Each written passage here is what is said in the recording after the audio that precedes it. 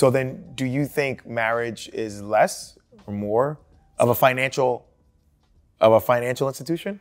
So I will tell you, my girlfriend and I talk about this very often.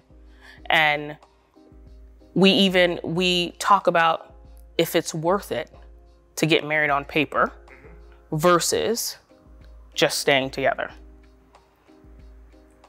Cohabitating, doing the whole thing, just yeah. not Yeah. And- not saying yeah. I do with the and and legally just making sure we're in each other's wills, life insurance and so forth, versus actually having the big to do.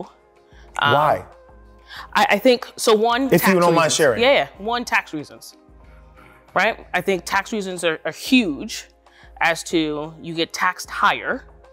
Um, once Tax what? I'm sorry. Higher. Tax larger. higher if you're married. Oh, you get Yes, if you're married. higher. Yeah, yeah. I see. I see. I see. Yeah, I yeah. see, I see. Yeah. Yeah. So I think that's one of the biggest things. Um, I think also if we're together, right? Um, society now says that you have to spend over $50,000 having a wedding, right?